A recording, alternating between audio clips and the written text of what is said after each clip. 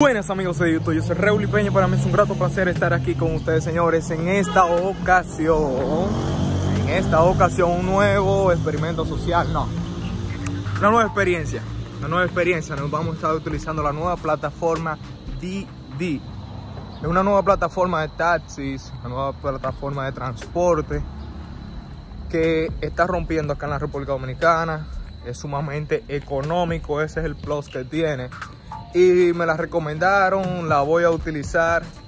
Voy a ser usuario de Didi por primera ocasión y ustedes van a ver en cuánto sale una carrera. A mí me dicen que sale sumamente económica, sumamente barata y ustedes van a ver la experiencia. Vamos a estar conversando con el chofer, con el conductor y él nos va a estar explicando la, cómo le va, cómo le va, cómo es el sustento de su familia con esta aplicación, con lo barato que son los viajes y vamos a ver cómo él se la busca.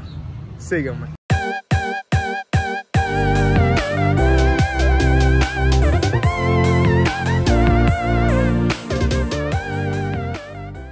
Señores, ya estamos dentro de la aplicación. Vamos a seleccionar nuestra ruta.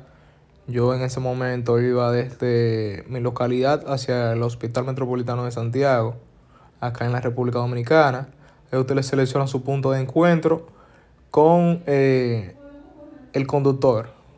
Ahí usted coordina con el conductor, donde lo va a encontrar, para que él pase por usted y se dirijan hacia su punto final el punto de encuentro. Ahí yo estaba dentro del apartamento. En ese momento no eh, lograba ubicarlo bien.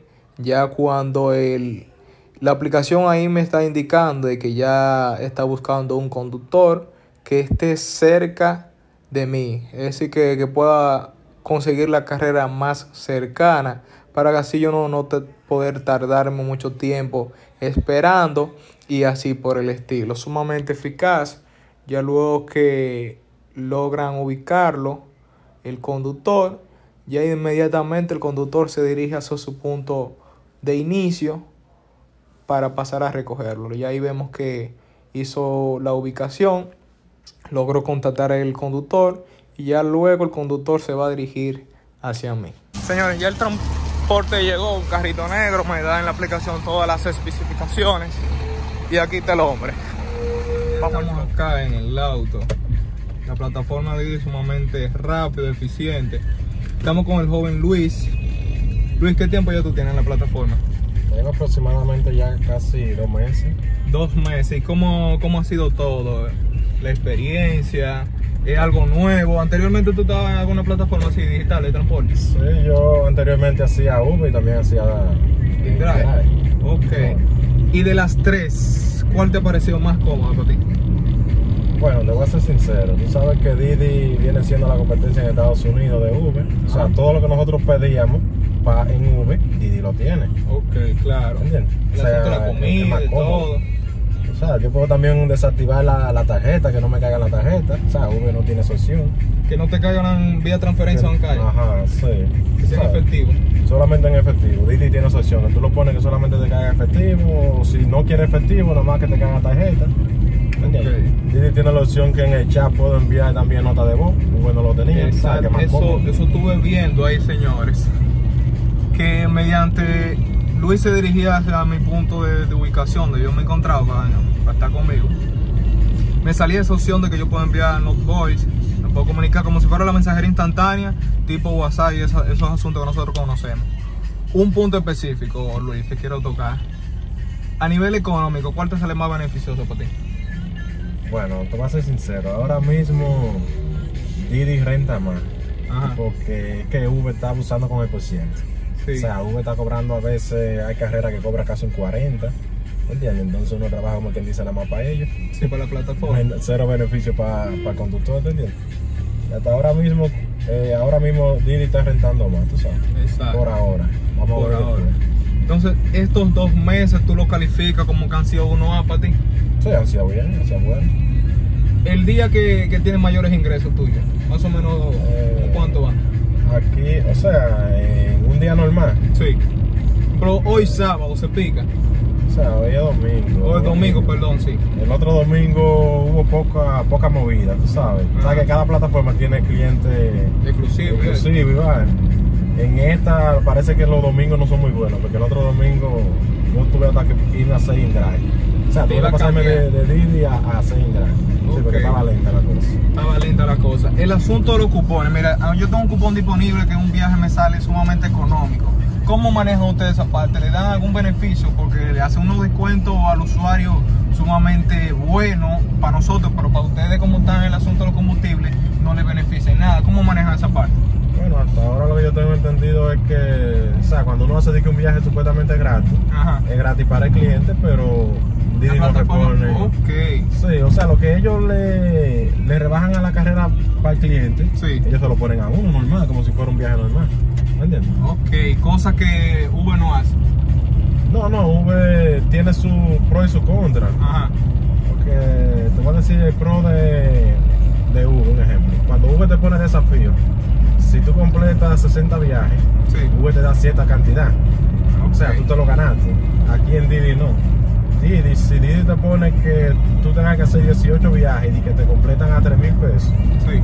eso es como un completivo. O sea, que ellos te aseguran que en, esa cantidad de viajes tú vas a hacer 3 mil pesos. 3 mil. Pero si tú hiciste los 3 mil con los viajes que te cayeron, que fueron viajes lejos, automáticamente Didi no te pone ni un peso. O sea, que no es como si fuera un bono. No, no, le conviene ahí entonces. Eh, si los viajes son muy lejos, no. Si son muy lejos, no. Entonces en esta parte ya quiero tocar la parte humana. Tu familia, ¿tú tienes hijos, verdad? Ya, ahora mismo no. No tienes hijos. ¿Tú lo que te motiva a ti a trabajar? ¿Qué viene siendo? Bueno, tú sabes que ya cuando uno ya uno se impone a tener dinero en los bolsillos, tú sabes. Eh, ya uno quiere darse su gusto y todo su cosa, tú sabes. Y yo de chamaquito siempre he trabajado. Eh, me ha gustado siempre depender de mí mismo, no di que si necesito algo, pedírselo a los padres y eso, o sea, no me gusta eso. ¿Te parece a mí esa parte? Porque imagínate, uno tiene que tirar para adelante. Claro, uno es uno. Exacto, lo tuyo nadie manda. Otro, otro punto. Lo, lo, ¿Has tenido un inconveniente tú con usuario? Eh, aquí en Didi no, tú sabes, porque soy nuevo, pero en un vecino. Un vecino, ¿qué me puedes contar tú sobre eso? Bueno, en V una historia media. Ajá, eh, complicado ahí. Los usuarios comenzaron a tener relaciones sexuales atrás. Ahí mismo. En el mismo auto. Cuando yo me di cuenta, yo lo desmonté. Y yo les reporté. ¿Pero eso fue de madrugada eso? Sí, de madrugada, una vez, a las 1 de la mañana. Ah, bueno. Yo les reporté a Uber y ellos me llamaron y me dijeron que sí fue cierto. Y yo les dije que sí, que ellos que procedieron a cancelar la cuenta. Pero qué delicado. Una vez me sacó una pistola por 10 pesos. Por 10 pesos que... Una pistola una vez me sacó. Pero eso, eso, ese asunto de, de, que te sacó el, arma de fuego, ese inconveniente se dio fruto de, de, que a él le faltaba, aunque tú le querías cobrar. No, la carrera hacía 85, ¿no? Ajá. O sea, no fue por 10, fue por 5. La carrera hacía 85, yo lo estoy debiendo 10. Yo le digo, pana, me faltan 5, o sea, para darle los 15. Ajá. Y él me dice, de que, pues déjame ver si, si aquella muchacha tiene, yo lo dejé en una cabaña. Y yo le dije, viejo, pero son 5 pesos que te voy a quedar de ver, porque tengo que ir a buscar a la persona. Dice, no, que yo qué. Entonces se puso ahí a discutir. Después al final cogió los 10 pesos. Cuando yo voy dando reversa de la cabaña, que voy a salir, él está delante de mí, sigue discutiendo y va, y en una se sube el poloche y me dice, dime, ¿esa te gusta? Que yo qué, como amenazándome. Ok. Yo lo único que le dije a este hombre tira, tú sabes. Ajá. Y agarré y me fui, sabes, pero no quise empeorar más la cosa, pero yo también te, ¿No te dio miedo eso? Eh, en realidad miedo no, sino impotencia, tú sabes. Claro. Porque a veces hay gente que cuando tiene una MFO cree como que es más hombre que el otro. Efectivamente, ese, ese es el detalle, porque si fuera el bollo es bueno, claro, es distinto. Lo que, te digo. Pero yo lo reporté y también le llevaron la cuenta.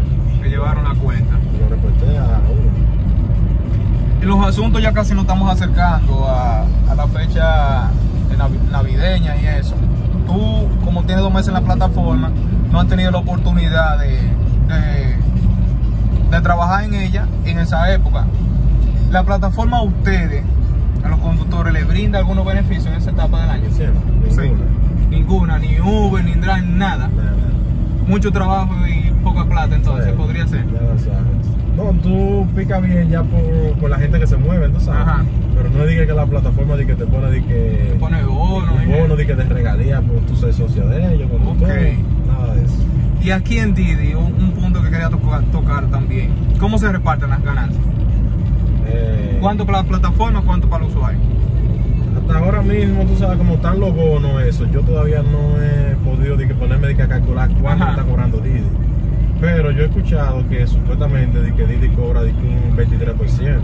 Un 23. Supuestamente. Y hubo un 40, es decir que casi la mitad de diferencia. Claro, le de la madre a uno. Ah, no, pues está, está más cómodo aquí entonces. Sí, hasta ahora, ¿sabes? ¿Y de combustible? ¿Cuánto consume tú el día entonces? Vale, yo gasto un dinerito Más o menos llena el tanque para pa, o sea, yo siempre completo. el día.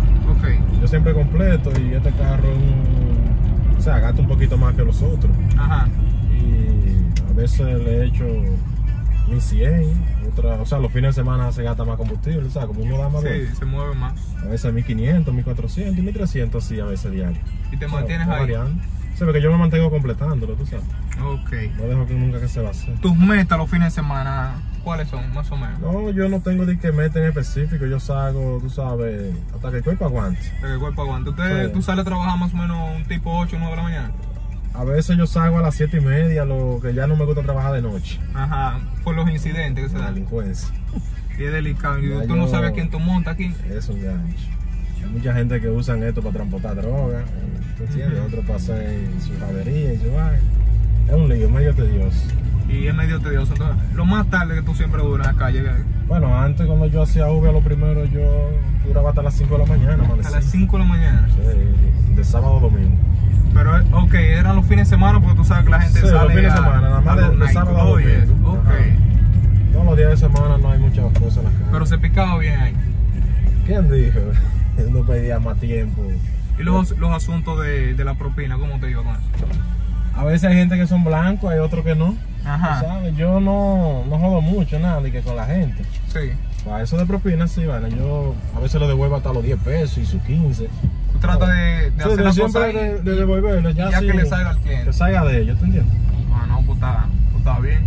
Señores, nosotros hemos llegado a nuestro destino. Agradecer a Luis por toda la exposición. Usted le invito a que comenten ahí debajo qué tal le pareció esto, qué tal la plataforma. Sumamente rápido, económico y sencillo. Luis hermano, un abrazo. Espero que vea este video, que lo comparta con toda tu gente. Síganme.